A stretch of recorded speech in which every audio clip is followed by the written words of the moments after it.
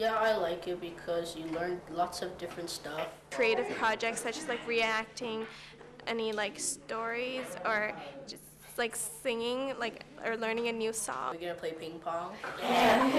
Chinese yo-yo, In this Chinese program, we do a lot of um, these projects and I really enjoy them. the basic culture stuff, We play shuttlecock where you kick this feather thing. lion dance.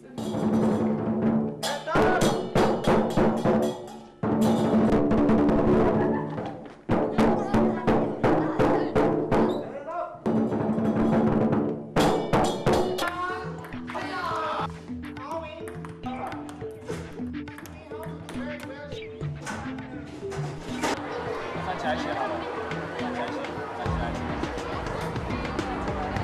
very nice, very pretty.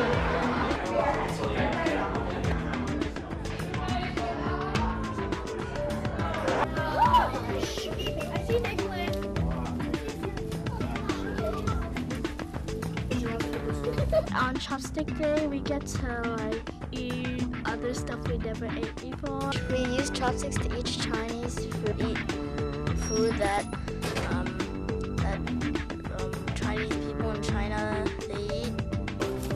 Cha Cha, you got. No, you go. Did it? I'm gonna. Yeah, quiet.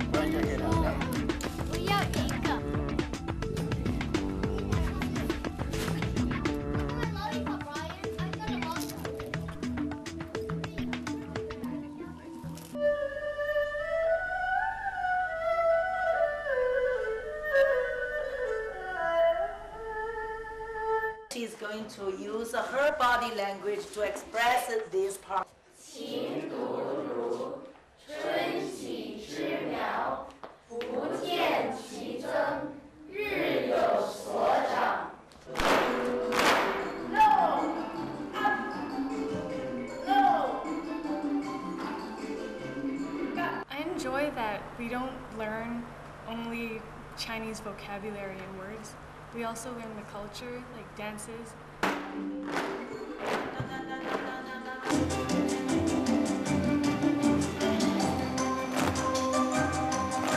Through Chinese dance, like you learn a lot more about the Chinese culture, and just because I I know the language, um, like the Chinese dance makes me more interested in in going to China.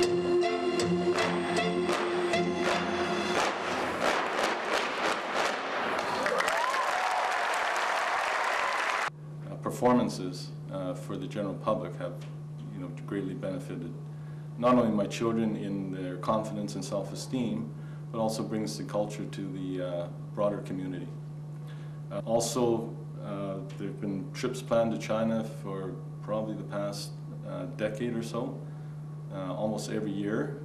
We see a lot of growth in them using their Mandarin for the short trip that, you know, they've gone abroad. It would be nice if our student can actually stay in the place to learn the language.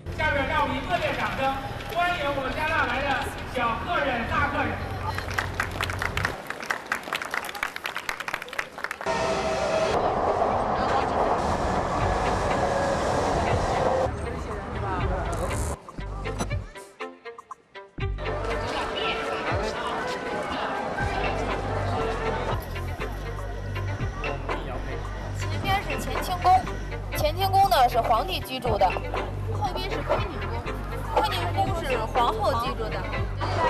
是要走那边还是？它是啊，我们现在我告诉你，这个好放。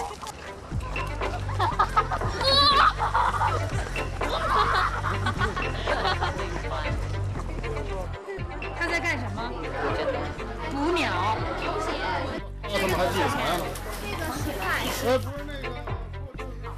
啊，对对对对对。 I learn more Beijing slang words, like the the you don't say 一点点, you say 一点儿。这个两个都是。好，就这个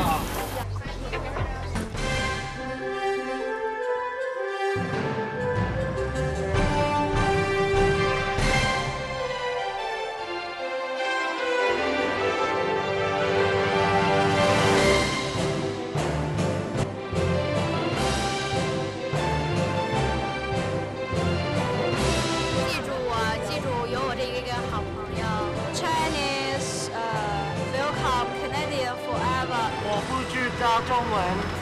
That's awesome. I didn't know